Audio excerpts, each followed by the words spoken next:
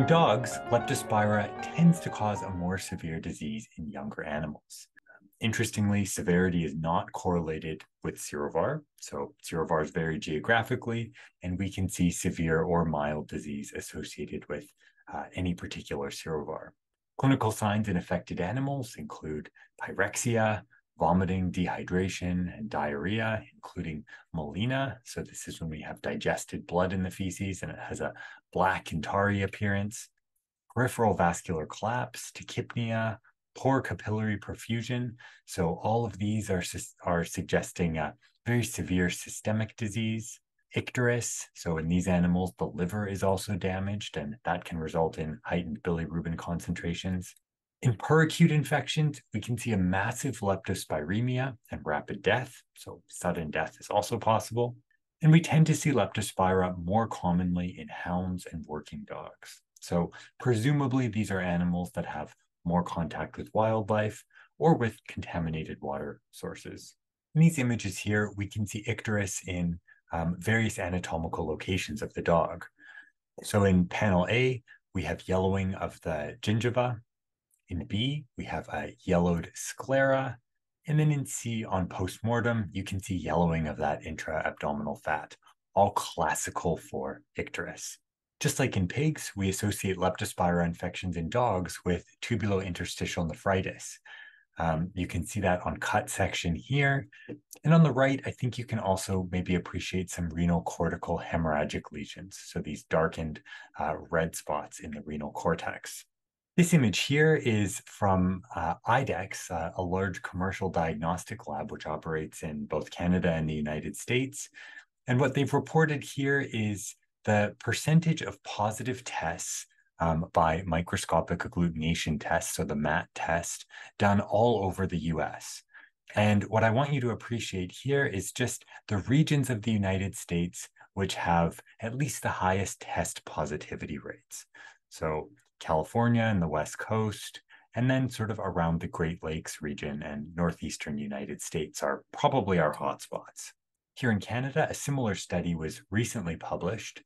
Here we can see the number of uh, PCR positive tests across the country. So nationally, you can see these areas with sort of the peach color. There were zero positive tests. So here in Saskatchewan and Manitoba, it would be a very, very low number, if any at all. And this map also highlights some of the more hot spots. So on the West Coast in Victoria, British Columbia, and also the Greater Vancouver area, as well as Southern Ontario, where you can see a much higher number of positive tests around the Greater Toronto area, and then as well on the East Coast around Halifax um, and the Southern Maritimes. These are the regions where, at least at present, you would be most likely to see Leptospira.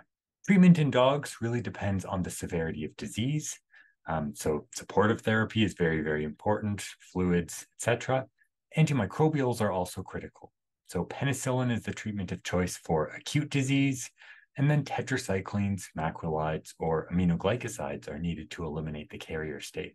Vaccines are certainly available, and while they're able to prevent clinical disease, they don't provide great protection against the carrier state. So they don't reduce the zoonotic risk associated with canine leptospira. Really, your best control measure is to avoid um, contact with potential reservoirs. So whether that's contaminated water uh, or wildlife reservoirs of disease like rats. In people, um, leptospira can present as an acute onset fever, headache, muscle pain, and conjunctivitis. And this can actually mimic dengue fever. So this is a viral infection, which is uh, present in tropical countries. And that's an important differential diagnosis because of where leptospira is most common. These are also dengue endemic regions. We can also see icterus in infected people, so 5 to 10% of cases. And there's potentially quite a high case fatality rate. So 1 to 5% of people who aren't treated can die and up to 20% of people if they have hepatorenal failure without dialysis. So serious organ dysfunction um, requires really aggressive therapy. Occupational exposure is frequently implicated in human disease. So workers on farms, mines, sewers, abattoirs, veterinarians, people working with fish, dairy, and the military. So all people who are going to be in contact with potentially wet environments There's also an association with uh, recreational contact with contaminated water, so swimming, wading, rafting. And of course, these are much more common and much more likely in tropical climates. Infection is oftentimes acquired by contact with either the skin or mucous membranes with this contaminated water, soil, vegetation, or potentially even urine. Um, the disease has an incubation period of approximately 10 days from initial exposure. And it's a disease that's really important. So, globally, there are over a million cases a year, resulting in 60,000 deaths. In North America, it's relatively rare in people.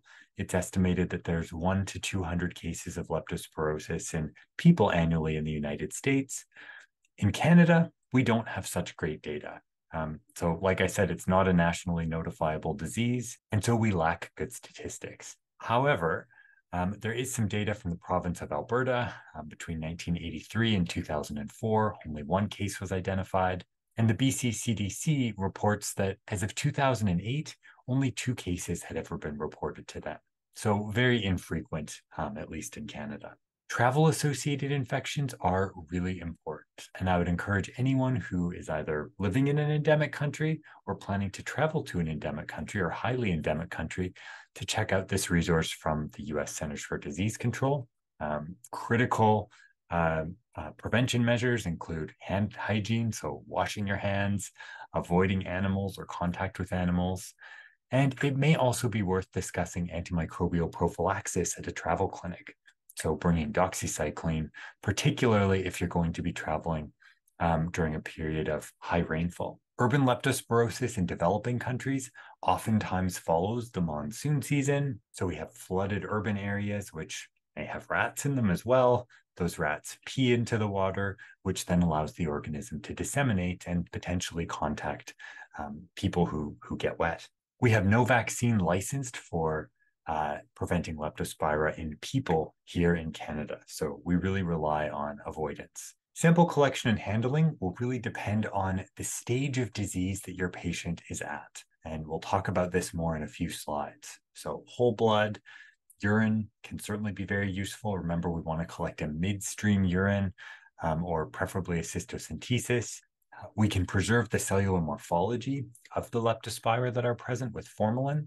We can also send in tissue samples. So if we have an animal which has died um, of the kidney and liver, this organism can remain alive for several days, if not frozen. Um, so culture is certainly possible if that's available at your local diagnostic lab. Otherwise, formalin fixation can allow histological evaluation. In cases of abort- abortion, um, abortuses or placental tissues can be useful. Um, whenever collecting these samples, personal protective equipment should be used to avoid contact with the animals. Um, so think about this in terms of having a dog who's hospitalized with leptospira um, in your clinic. You want to make sure that yourself and your staff are not coming into contact with urine. This organism can be identified in a number of ways. Uh, we can detect the organism live uh, in fresh urine by dark field microscopy, and I'll show you a picture of that in the next slide. We can do PCR on urine. We can do serological testing. So this is that MAT test, the microscopic agglutination test. And this involves mixing patient sera with leptospira cultures and then looking for agglutination. So antibodies in your patient serum, which are able to bind up uh, reference cultures. We can also isolate this organism from the blood early in infection. Um, remember, culture is difficult. It requires specialized media, potentially long incubation times, etc. Um, once we have the positive culture, we then uh, identify the organism using molecular methods. And we can use fluorescent antibodies on tissues collected at necropsy, so the liver and kidney. In this image here, you can see uh, dark field microscopy uh, with Leptospira borgpetersenii. This is a really useful test for identifying live organisms in freshly collected urine. You're going to see them motile and they'll really stand out uh, quite nicely. So we have dark field microscopy, as we just saw. We have culture. We have the MAT test, that microscopic agglutination test. Uh, we have rapid diagnostics. We have histopathology and we have PCR based assays. So, with all of these tests available, um, how do you select the one that's best for your patient? Well, first of all, we have to consider the sort of advantages and disadvantages of each test. um, and the availability of um, each assay with the diagnostic labs we use. Culture, for instance, may not be available. The other thing that we need to consider is what stage of disease is your patient at? So, this is a figure which details sort of the time course of Leptospira infections and how this relates to diagnostics. So, very early in the disease, for instance, we may see organisms in the blood, in which case blood cultures and PCR of the blood uh, is a, a, possibility. Later on, uh, we see the organism shed into urine. Um, we'll see uh, urine cultures and urine PCRs being positive. And we also get uh, the development of an anamnestic response, so antibodies in the blood. And we can start to see uh, positive reactions for the microscopic agglutination test. So the decision of which test to select is partially based on when in the course of disease you think your patient is. So it's important to know about the biology of your pathogen and your host's response to that pathogen. When is each analyte going to turn up positive? When it comes to interspecies transmission, this is very, very important for Leptospira. Whether it's between an animal and an animal or an animal and a human, all are well recognized. These organisms have a very broad host range, including wild and domestic mammals, reptiles, amphibians. Um, and we know that they're widely spread. So there was a study in 1983 which tested uh, rats in Detroit, Michigan, and found that 90% of them were positive for Leptospira icterohaemorrhagiae. In Europe, we know that the hedgehog is an important reservoir of Leptospira, um, and so, again, whenever you're dealing with animals that you think may be positive, personal protective equipment is really important to prevent contamination of yourself and, and prevent these infections. This was a case report that I thought was really interesting of a waterborne outbreak of leptospirosis in Italy. Um, there were a number of cases. So in uh, July 1984, 33 cases were identified serologically um, including a number of people who actually died.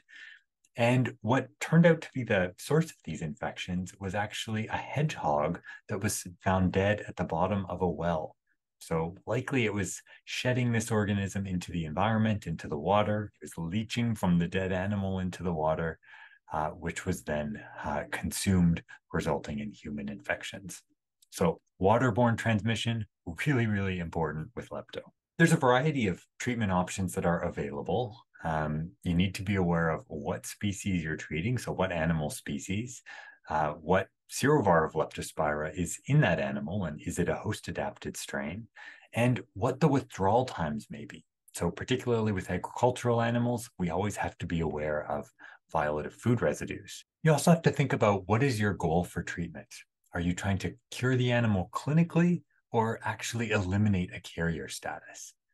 Two drugs which are not recommended are chloramphenicol um, and the sulfonamides. These have been shown to be not effective uh, for treating leptospira. We have just a couple of new terms today, and of course, a few questions for self assessment.